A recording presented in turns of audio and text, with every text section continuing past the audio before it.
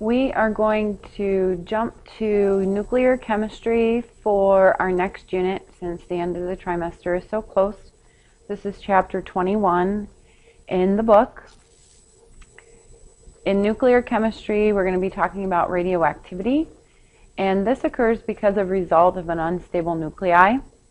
Nucleons are particles in the nucleus, are neutrons and our protons. Radioisotopes are atoms that contain any radioactive nuclei. So these are isotopes of elements that are radioactive.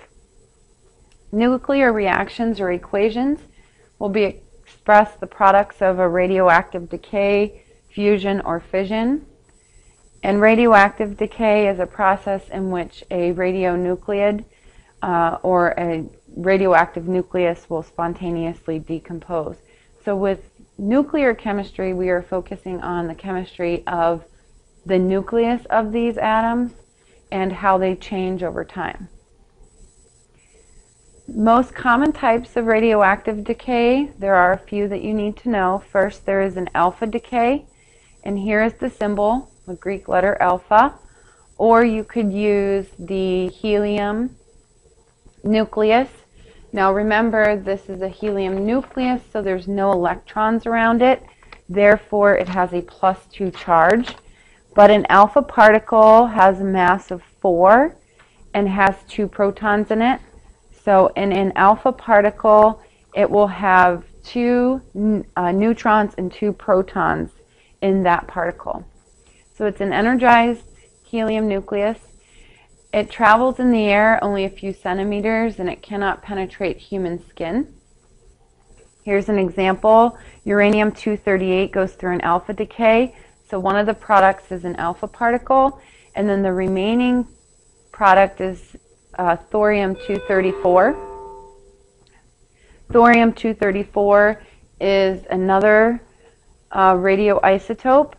You will notice or should notice that the masses on this side add up to be the same mass on this side. And then the proton numbers add up to be the same proton number as the reactant side. So our numbers will still be the same even though we are changing elements in this alpha particle is being given off this alpha radiation. So here's a picture of another an example, plutonium-240, if it goes through an alpha decay, an alpha particle is given off, and then we have a new element here, uranium, uh, uranium-236. Now remember, this will only occur with nuclear chemistry where you will see a uh, change in element and the change of protons.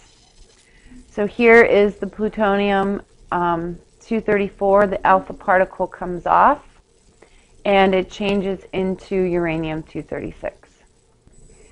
So what product is formed when um, radium-226 undergoes an alpha decay? To do this, we're going to write what we already know. And we know radium, which is Ra, and it's 226. Look up the proton number on the periodic table, and that is number 88. Goes through an alpha decay, so we know that the particle is 4-2He, which is alpha. So what must be produced? Well, 226 minus 4 is 222. And 88 minus 2 is 86. So we are looking at radon. There's our alpha decay. Now, usually with these nuclear decays, we are looking at a um, you will be told what decay is going on. You can't, I can't just say radium 226 decays. You need to know the specific decay that uh, the element goes through. Here's another example. A beta decay is a beta particle. Again, you can use the Greek symbol B or you can use the electron because it is a high energy electron. Now with the beta decay, it can travel approximately 300 centimeters and can penetrate your skin, but this is very rare. An example of this is I-131. goes through a beta decay, and you'll notice that then it will produce um, Xe131. One thing to keep in mind with this is you'll notice that the charge on an electron is negative 1. So on this side, a minus 1 plus a 54 is a 53, which matches on this side. There will be no mass change with, with a beta decay, but you will see a change in the number of protons. Be careful of the math here. A lot of times students would write that this is 52. This is not 52 because you're um, adding a negative charge to that side. You might be thinking, well, where does an electron come from in the nucleus? Electrons are generally found in the electron cloud, so how does an electron or a, beta, a negative beta particle come out of the nucleus? Well, what ends up happening is that you'll have a neutron, and this neutron will actually, under nuclear conditions, break into a beta particle, so here's our beta particle, and a proton. So you'll notice if you add these two together, you will get a zero charge, negative one and a plus one. And if you add the mass together, you get a one, which is the mass and charge of a neutron. So a neutron will transform in the nucleus and form a beta particle and a proton. Here's your example, a neutron beta particle is given off. Your proton is now added to the nucleus, so you'll see an increase in the number of protons, but no change in the mass. Another type of radioactivity is gamma. There's your Greek symbol. With gamma, there is no change in mass and there is no change in charge. Gamma is a photon of energy, and this travels very far. It can be stopped um, by approximately 5 centimeters of lead. This is a very high frequency uh, radiation, which means high energy. So here we have plutonium-244, which goes through a gamma decay. And you'll notice that there's no change in the mass, nor there is there a change in the number of, of protons. What ends up happening is the energy that's emitted occurs when the uh, neutrons and protons in the nucleus are unstable and they have to reorganize and shift themselves to become stable. So in order for them to become stable, remember, stability equals a lower energy. Some energy has to be given off from that nucleus in form of a gamma decay, and this, the nucleus now becomes more stable. It's usually not written in a nuclear reaction. You usually see it accompany other reactions like an alpha decay If an alpha decay occurs, you now have a new nucleus which needs to kind of reorganize and shift to become stable, and a gamma radiation will be given off at the same time. A positron, very interesting particle here. Positron is actually a positive electron. This is considered antimatter because it's a, posi a positively charged electron. And what ends up happening with a positron is when it's given off, it will usually collide with an electron in the electron cloud and they're annihilated. And when that happens, a gamma ray will be produced. So here's an example of a positron decay. Carbon 11 goes through positron decay. You get uh, boron 11. You'll see a change in the number of protons right here but no change in the mass. Again, on this side, plus 1 and a positive 5, a positive 1 and positive 5 is a 6, and the mass is 11 on both sides. So your masses and number of protons need to equal. Well, where does a positive electron come from?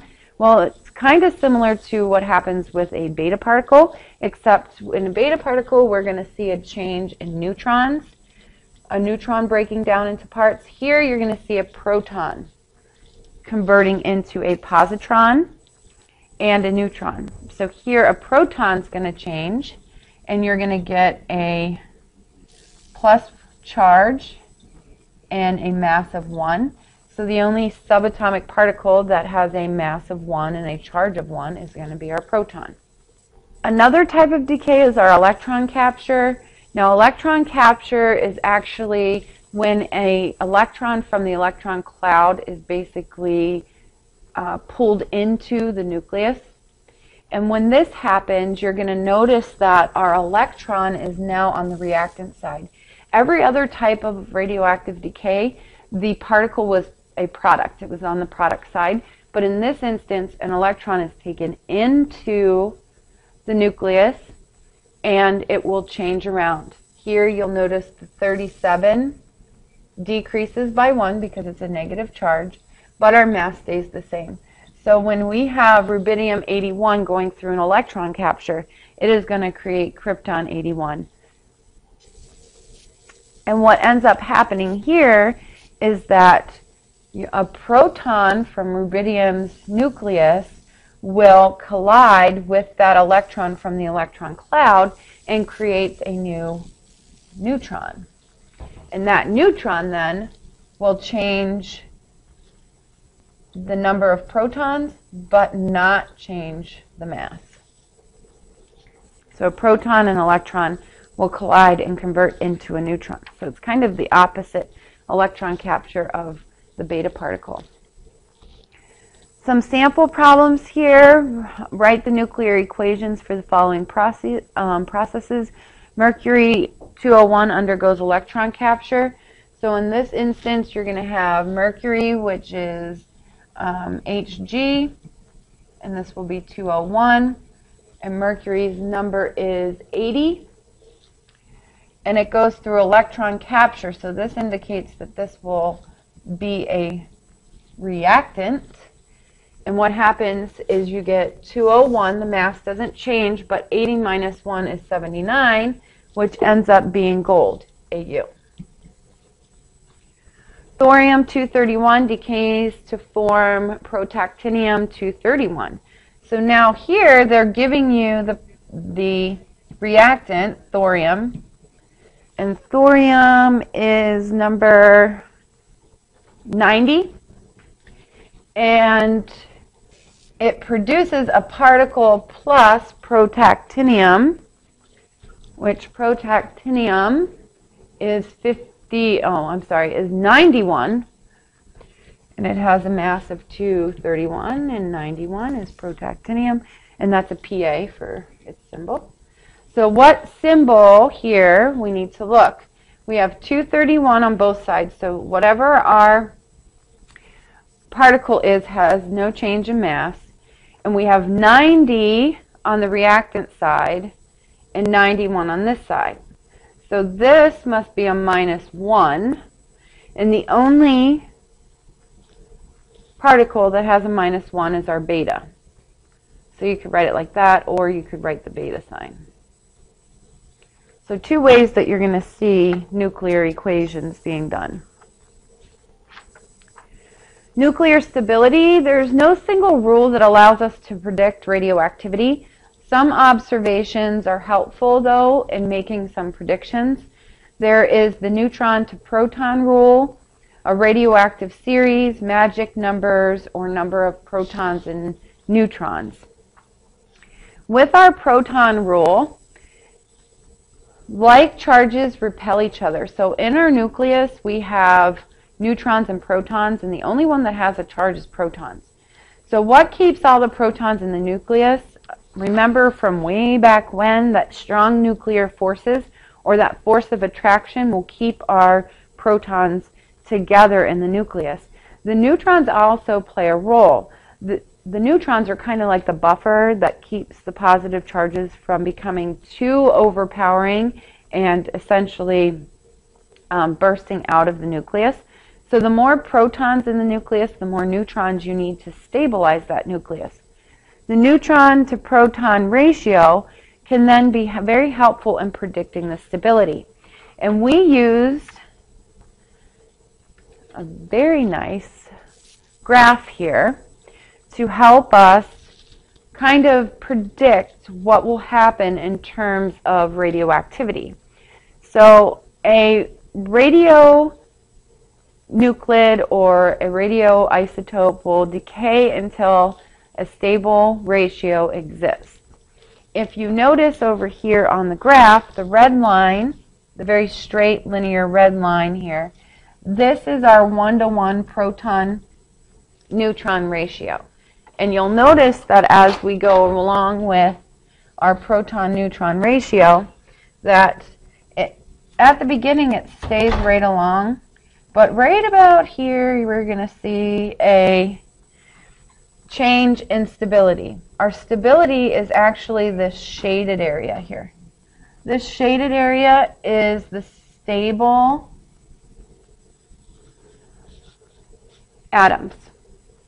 The ratio of protons and neutrons starts to change right around 20 because the more protons we have, we now need to increase the number of neutrons even more. So too many neutrons, you're going to notice that neutrons will be converted to protons by beta emission. And this shaded area is called your belt of stability. So anything in there is considered stable. Once you get outside the belt of stability, it's going to help us determine what type of decay will take place. If it's above the belt, you have a high ratio of neutrons. So high ratio,